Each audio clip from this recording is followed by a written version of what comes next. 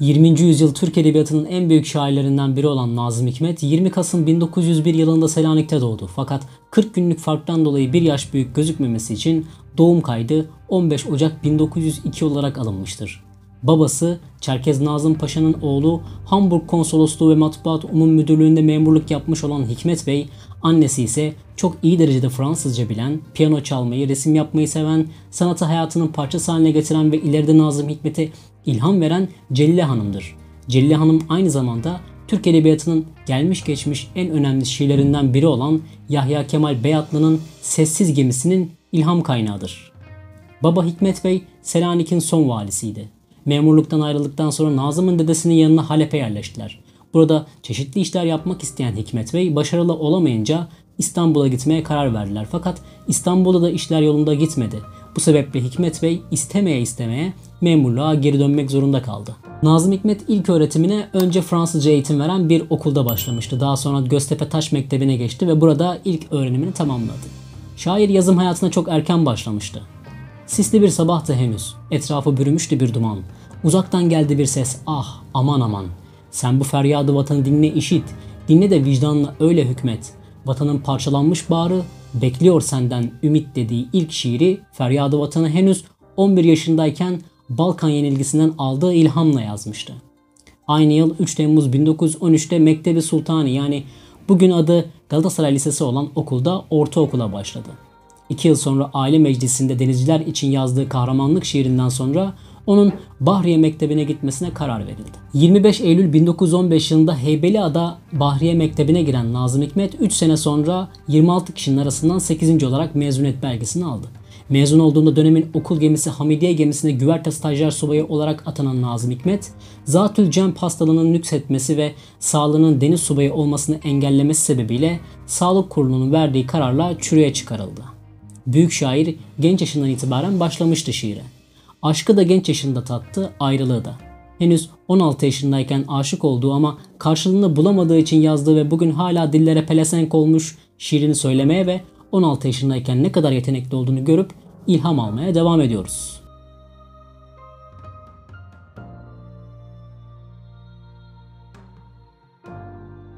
Hayal kırıklığına uğrayan şairin Sabiha için yazdığı ilk tepkisel şiiri olan Herkes Gibisin, Türk Edebiyatı'nın en önemli şiirlerinden olduğu kadar Cem Karaca tarafından bestelendikten sonra Türk müziğinin en güzel şarkılarından biri olmuştur.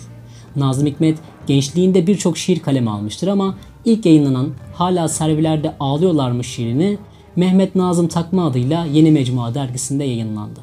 1920 yılında Alemdar dergisinin şiir yarışmasına Bir Dakika adlı şiirle katılıp kazanınca Faruk Nafiz Çamlıbel gibi isimler tarafından sevgiyle bahsedildi. Vatan sevgisiyle yanıp tutuşan Nazım aynı yıl Gençlik adlı şiirini yazmış ve milli mücadeleye farkındalık yaratmak istemişti. Akabinde Valan ile birlikte ailesinden habersiz bir şekilde milli mücadeleye katılmak için Anadolu'ya gitti. Fakat cepheye gidemedi. Bunun üzerine Bolu'da öğretmenlik yapmaya karar verdi. Bu dönemde Ankara hükümet tarafından Valan ve kendisine milli mücadele için şiir yazması istenmiş. Yazılan şiir binlerce kopya basılıp dağıtılmıştır. Büyük bir etki yaratan şiirler Mustafa Kemal'in de ilgisini çekmiş, ikili meclise davet edilmişti. Atatürk genç şairlere bazı genç şairler modern olsun diye mevzusuz şiir yazmak yoluna sapıyorlar. Size tavsiye ederim. Gayeli şiirler yazınız. Tavsiyesinde bulunmuştu. Takvimler Eylül 1921'i gösterdiğinde iyi bir eğitim almak için Batum üzerinden Moskova'ya giderek Doğu Emekçileri Komünist Üniversitesi'nde siyasal bilimler ve iktisat okudu. Moskova'daki devrime şahit olan şair komünizm ile tanışmış oldu. Bu dönem kendisini tanımaya başlayan Nazım gelişen yazım dünyasında kendisini geliştirmeye başladı. Bu sebeple serbest ölçüyle şiirler yazmaya başlamış, İtalyan şair Filippo Tommaso Marinetti'nin başlattığı fütürizm akımına o da katılmıştı. Bu dönem yazdığı şiirler Aydınlık ve Yeni Hayat dergilerinde yayınlanıyordu. 1924 yılında üniversiteyi bitiren şair Türkiye'ye geri döndü ve Aydınlık dergisinde çalışmaya başladı. Burada yayınlanan bazı şiirlerinden dolayı başı derde girdi. 4 Mart 1925 tarihinde çıkan Takriri Sükun Kanunu ve 1 Mayıs 1925 yılında yayınlanan bildirgeden dolayı Aydınlık dergisinin yazarları tutuklanıyordu. 12 Ağustos'ta verilen karara göre Nazım 15 yıl hapis cezası almıştı. Bunun üzerine saklandığı İzmir'den önce İstanbul'a geçti, oradan da Sovyetler Birliği'ne. 1926'da Cumhuriyet Bayramı kapsamında af kanunu çıkarıldı ve kendisinin de yararlanacağı öngörülmüştü. Fakat pasaport alamadı. Bunun üzerine 1928'de gizlice sınırı geçmek isterken yakalandı ve kısa bir süre hapis yatarken aynı yıl Bakü'de Güneşi İçenlerin Türküsü adlı ilk kitabı yayınlanmış oldu.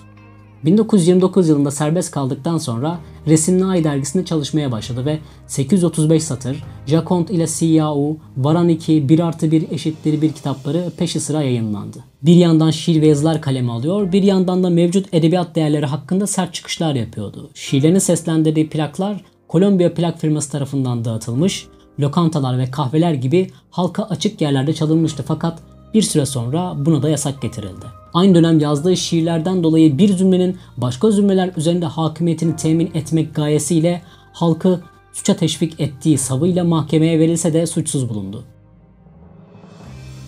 1931 yılında Benerci kendini niçin öldürdü kitabı yayınlandı. Ayrıca o dönem Kafatası ve Bir Ölü Evi adlı oyunları İstanbul Şehir Tiyatrosu'nda sahnelendi. Aralık 1932'de İstanbul'a dağıtılan bildirilerde adı geçti ve birçok tutuklanma yapıldı. Nazım Hikmet de tutuklanan isimlerin içindeydi. 1933 yılında Bursa'ya gönderildi ve idam cezasıyla yargılandı. 1934 yılında 5 yıl hapis cezası alarak dava sonuçlanmıştı. Toplamda 1,5 sene yattıktan sonra serbest kaldı. Dışarıya çıkınca ilk işi Akşam Gazetesi'nde Orhan Selim adıyla yazılar yazmak oldu.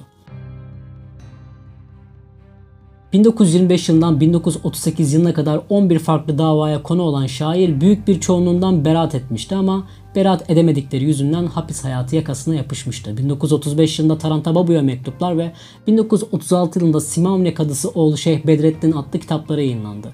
Bu dönem yargılanmalar ve davalar devam ediyordu. Takvimler 1938 yılını gösterdiğinde askeri yargıtaydan 28 yıl 4 aylık bir hapis cezası aldı. İstanbul, Çankırı ve Bursa olmak üzere 12 yıl hapiste kalan yazar hiçbir zaman yazı yazmaktan, resim çizmekten ve şiirlerinden vazgeçmiyor. Okuma yazma bilmeyen mahkumlara eğitim vermekten de geri kalmıyordu. Ceza aldığı sırada Atatürk'e mektup yazıp suçsuz olduğunu yazan şair, mektubun çok ağır hasta olan paşaya ulaşmaması sebebiyle bir dönüş alamadı.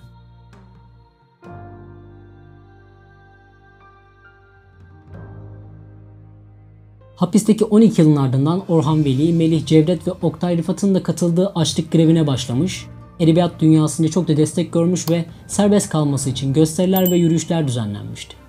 1950 yılında Demokrat Parti'nin seçimleri kazanmasından sonra çıkarılan af ile özgürlüğe kavuşan şair, grev yüzünden sağlık sorunları yaşıyordu. Çıktıktan sonra İpek filmde çalışmaya başlayan şair polis tarafından takip ediliyor. Bu sebeple yazılarını ve oyunlarını yayınlatmak onun için güç bir hale geliyordu.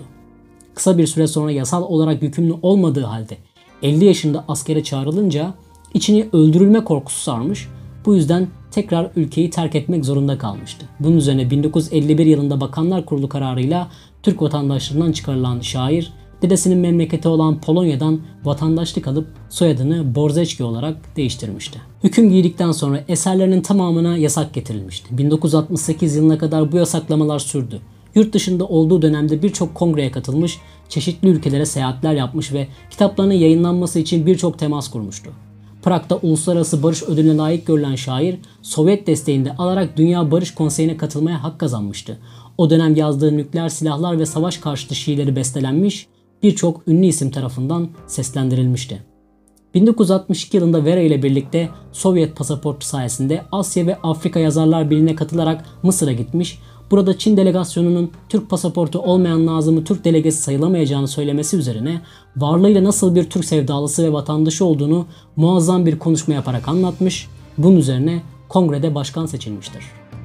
Adı romantik devrimci ve romantik komünist olarak geçen şairin bu ismi almasının sebebi yaşadığı aşkların büyüklüğüydü. Çok genç yaşta tanıştı aşkla ve ölümüne kadar aşık olmayı bırakmadı. Sabiha Hanım, Azize Hanım, Şukufe Nihal, Nüzet Hanım, Lena, Piraye ve Vera gibi birçok aşkı ve onlara yazdığı şiirleri ve mektuplarını okumaya devam ediyoruz. Nazım Hikmet bu aşklarından birçok evlilik yaşamıştı fakat sadece Münevver Andaç ile evliliğinden Mehmet adında bir çocuğu olmuştu. Zor bir hayat süren Nazım Hikmet tüm bu olumsuz koşullara rağmen Türk Edebiyatı'na büyük katkılar sunmuştur. Yazdığı şiir ve oyunlar bir yana Yaşar Kemal'in muhteşem eseri İnce Mehmet'i Rusça'ya çevirerek kitabın önünü açmıştır.